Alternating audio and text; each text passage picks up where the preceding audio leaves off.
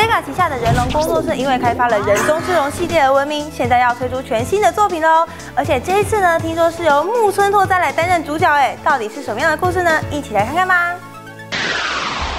Sega 旗下开发人中之龙系列的人龙工作室，在近日宣布将由日本知名偶像木村拓哉所主演的 PS4 原创新作《审判之眼：死神的遗言》。本作是由人中之龙系列的知名总监明月忍阳所领军打造的全新原创作品，也是他首次挑战法律剧的相关题材。游戏以律师事务所为开端，描述木村拓哉饰演的主角八神龙之调查案件的经历。本作和以往不同，加入了许多新要素玩法，像是跟踪可疑的嫌疑犯不能让他逃掉，及各种乔装潜入找寻需要的线索，或是成为狗仔拍摄铁证如山的照片。当然，维持传统各式各样的小游戏也是不会少的。本作预定于今年十二月十三日同步推出繁体中文版，直接抢先试出体验版喽！有兴趣的玩家们，赶快攒下来打一波吧！